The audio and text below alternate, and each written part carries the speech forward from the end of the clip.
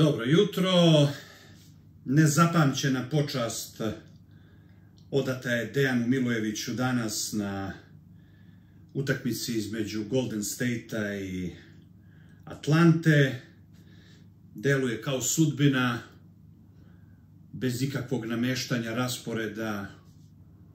Prva utakmica Partizana u ABA ligi sa Megom, i prva utakmica Golden State-a nakon te tragedije sa Atlantom, Bogdan Bogdanović, Kokoškov tu. E, ovoliki publicitet pomoćnom treneru ja nisam video u životu. Znate, i sad kad malo hoćete da sagledate sve šta se večeras desilo, ja nisam gledao utakmicu NBA lige koja je počela himnom Srbije u počast pomoćnom nekom treneru. Znači nije počela američkom himnom utakmica, nego je počela srpskom himnom Bože pravde. Svi igrači Golden State-a nose dres sa svojim brojem na kome gore piše Milojević. Nose majice brate. Žene, sin i čerka Dejana Milojevića u publici tamo, znači, ono, plaču, cela hala plaču. Znači, nezapamćena počast, ja ne znam, zaista pođite od toga, znači, evo, bilo koji pomoćni trener u bilo kom klubu da umre, da li je, da li je razumete, taj stepen publiciteta viđen, ja nisam video. Da je ovo neki Charlotte, Sacramento, šta znam, Memphis i tako dalje, e, ovo bi ipak bio neki lokalni događaj, Golden State je jedna od najvećih franšiza sa najvećim brojem navijača širom sveta i ovo je nešto ovako isplasirano, takav jedan odjek, dakle, bez presedana, znate, neprocenjivo. Najemotivnija komemoracija koju sam imao priliku da gledam ikada za bilo koga. Umro je Bill Russell, mislim i tako dalje, bile su te, te počasti. Znači, ništa slično. I onda se postavlja pitanje zašto? Da li zato što su na večeri svi prisustvovali njegovoj smrti praktično, njegovom, njegovom srčanom udaru, pa ih je to potreslo, da li zato što je on bio neka vrsta emocionalnog amortizera za jedan tim koji je bio pun negativne energije, pun stresa, pun negativnih stvari njegov osmeh, Dejanov osmeh, Dejanov pozitivizam je bio neka vrsta redkosti, neka vrsta Znate, gledate, Green plače kao kiša, Clay Thompson plače kao kiša. Znači, bez šale, znači, stoje, drže ljudi, ono, maramice, plaču, plače Curry, svi plaču, pazite. I to je onda to. Znači, vi dođete tamo pa vidite da to jeste onako, znači, spolja kad gledate, recimo, ja i Isaije i Jeremija smo išli u Phoenix, pa posle Isajine smrti ja i Jeremija u Denver i nama je to stvarno bilo sve novo i sve zanimljivo. Ali jedan utisak kad ti vidiš koliko je vlade smoren svim tim, pa mi ulazimo tamo to za Phoenix, predstavlja neku no, tamnoputu uh, stewardesu koja je 40-50 godina, nemam pojma koliko. Kaže, ja sam sa ovom ženom više proveo nego sa svojom rođenom ženom vremena, kao otprilike ono, na gostovanjima, znači to je žena koja je bila stewardesa 50. godine, tako nešto ima. Bila stewardesa u vreme kad je Vlade bio igrač, pa do vremena kad je on bio generalni menadžer i tako da. Kaže, više vremena je tokom godine provodio sa njom nego sa svojom porodicom. Znači, u letovima tim i tako dalje, znači u avionu. Ona zna šta on jede i tako dalje.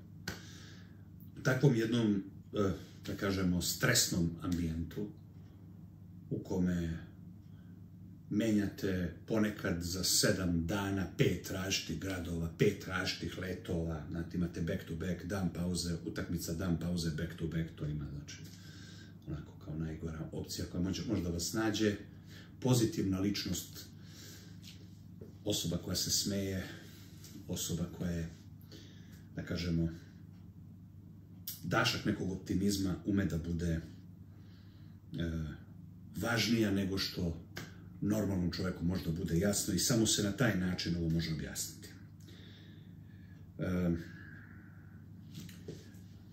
ovaj čovjek ovdje je aktuelni potpredsjednik NBA lige, zadužen za takmičenje. Zove se Joe Dumars.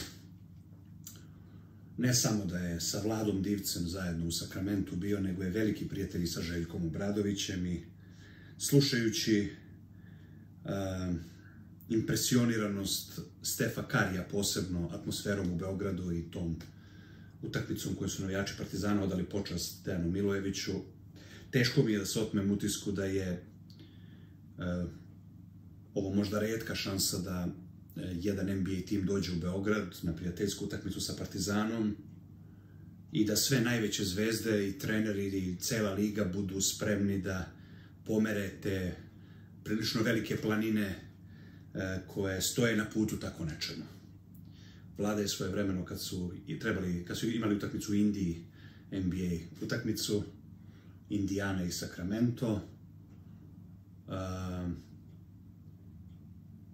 hteo da dođu do Beograda, pa u Beogradu da provedu par dana, pa da idu dalje. Čitava je to bila skalamerija sa sindikatima igrača, pregovori ovam onamo. I on koji je to hteo nije mogo da izvede to. Ja sad ovo kad pogledam, znači, teško mi je oteti s utisku da ovoliki, ovako dubok trag da neko ostavi. I ovakva impresioniranost njihova onim što je ostavio kao svoj trag u Partizanu i onda kad pogledate malo ta epizoda sa Megom, jedina tri startera koga je, koje je sistem Mege proizveo su centri. Zubac, Bitadze i Jokić kao fenomen. I njegova uloga u razvoju Kevona Lunija i tako dalje, znači može centrala jednom da pogreši dva puta, ne može četiri puta da pogreši, on je očigledno imao redku, unikatnu veštinu da pomogne centrima da razviju svoj maksimalni potencijal i posebno dirljiv taj Kevon Looney, znači kao njegovo košarkaško dete, slična, sličan utjecaj kakav ima na Jokića, tako i ovdje. Tako da ne znam što vam kažem, ako najemotivnija komemoracija bilo kome ikada, ne znam, Kobe Bryant možda kad je poginuo i tako dalje, pa da se stavi da je to iznad toga, ali pomoćni trener, mislim, ono, znate, ponos Partizana, ponos Srbije, ima to tamo, znate, prosto da neko ovako osvetla obraz i pokaže da zaista možda mi kao Srbija i Amerika imamo puno problema i puno sukoba, ali da nema veće ljubavi i nema naroda koji se suštinski više vole kad se malo dublje zagrebe između Srba i Amerikanaca kao narod. I ovo danas vam samo to pokazuje to ovo vam dođe kao ona zastava Srbije na Beloj kući. Znate, jednom ili dva puta u istoriji se to desilo i ne znam da li se desila NBA utakmica da neka zbog bilo koga počne himnom neke druge države, a ne Amerike ili Kanade. Što ti timovi iz tih zemalja koji igraju. Tako da, ne mogu još da isprocesuiram, zaista mi je stresno bilo, ali impresivno. Impresivno i Dejan Milojević je ponos ove zemlje i ponos Partizana i dokaz da nekada na prvi pogled ne možete da sagledate važnost nekog čoveka. I to je otprilike to. Tako da zaista sam onako u šoku. Za Dejana su njegovi igrači doneli ubedljivu pobedu protiv Atlante. Naš Bogdan je bio sasvim solidan, danas bio je starter, 17 poena, tri asistencije, 6 od 11 šut iz igre, dakle, apsolutno, ali oni su igrali ono, nadahnuti prvi koš koji je postigao kako Steph Curry pod ruke gore. To znači, jednostavno, bez kraja, znači bez kraja jedna emocija i velika pobeda E, Golden State-a za Dejana Milojevića, da kažemo tako, bez pretencioznosti bilo koje vrste.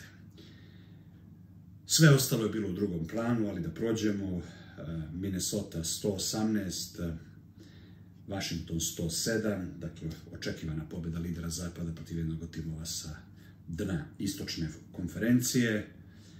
Nesrećni Detroit konačno se ovajdio protiv Charlotta i pobedio 113-106, peta utakmica u 44. Uh, dosadašnje, uh, znači 5-39 je skor, uspeli su da pobede velika partija Bojana Bogdanovića. Uh, desetkovani, malo je reći desetkovani tim Memfisa, šokirao je Miami Heat koji je doveo ovoga Rozira, ali važnija vest od toga da je Rozir debitovao, skromno, kao vidite da ima problem kad je došao Harden, pet utakmica zaredom je izgubili Clippersi, došao je uh, ovaj, kako se zove, Sijakam u Indijanu, tri zaredom izgubiš ili, ili šta već. Kad dođu tako neki igrači, obično prve utakmice se u vodu bacaju i posle kad dođu na svoje, vidite gde su sad Clippersi, tako i Rozir je tu došao. Vest koju sam vam rekao da se ne koristi minutaža i ne koristi šansa, danas je Jović, od startera došao do tri slova DNP, coach's decision, nije ni igrao danas. Sedeo je na klupi i nije igrao. Odlukom trenera. Dakle, starter, jedna utakmica, dve utakmice, tri utakmice, pet utakmica, dva, dva poena, tri poena, dva poena, tri poena. Znači, uh, onako, propuštena šansa. Eto, ništa drugo i e, poraz, šokantan poraz Miami ipak od tima kome ne igra Jamorant, ne igra onaj Adams, ne igra Smart, ne igra Bane, valjda, ako sam dobro shvatio, sad samo da nabrojem četiri od pet startera, ne igra. Ne igra. Eto. John Končar start. Tako. Tako da, to je to. Milwaukee 126, Cavaliersi 116, ubedljiva pobeda Milwaukee-a. Doc Rivers definitivno novi trener. Portland Trail, Blazersi ovoga puta trojkom u posljednjoj sekundi izborili produžetak protiv uh, Houstona i u produžetku pobedili 137-131, vratilo im se za ovu sramotnu utakmicu od sinoć kada, kada su sudije odlučili utakmicu i nisu dozvolile treneru Portlanda da 15 sekundi pre kraja uzme time out pri vojstvu njegovog tima od jednog poena, nego mu dali dve tehničke greške i odlučili utakmicu i sad još su objavili kako je to sve ok po PS-u. Dakle, sramota. Oklahoma rutinski rešila San Antonio 140-114, tako da su dan, nakon ove dve pobede ta dva tima Oklahoma i Minnesota izjednačeni s tim što ovde sad pokazuje da je Oklahoma prvi tim. Imaju isti učinak, valjda ovde pokazuje, izvinjavam se, ako, ako, ali mislim da je to 31-13, ali verovatno međusobni skor je bolji. Denver pola pobede iza i poslednja utakmica, Dallas na svom terenu demoliran od Phoenixa koji je vezao valjda sedmu zastupnu pobedu i taj super tim dolazi na svoje 132-109. Luka Dončić bez Kairija Irvinga danas na utakmici 34 pojena, 8 skokova, 9 asistencija. To je to. E, ne igra još uvek Dante, povredio je petu, pri kraju je tog oporavka, kako razumem, trebao bi brzo se vrati, ali ne, ne ide problem, dakle Dončić, rekao smo 34 poena, njegov najbolji prijatelj, ovaj Buker, 46 poena, 7 skokova, 3 asistencije, 2 ukradene lopte, dakle onako eksplozija potpuna, dodaš Bradleya Bila sa 20 poena i Kevin Durant, ono manje više off night, 12 poena, 10 skokova samo i tako dalje, skromna utakmica, pobeda od 23 poena razlike u gostima, tako da Dallas E, polako, ali sigurno u, još jednoj sezoni klizi ka, e, ka e, playing zoni ponovo na kraju dolazi u situaciju da ga ovoga puta povrede desetkuju do tačke da ne može ne može da bude razmatran kao tim koji se bori, da oni sad imaju sedam pobjeda manje od ovog tandema na vrhu zapada, tako da eto, to je to za ovo ekstremno emotivno veče i veče ko, kome ja nisam nikad video da se pomoćnom treneru ili čak treneru da ovakva počast kako je danas dobio naš dragi Dejan Milojević. Eto. Veliki pozdrav.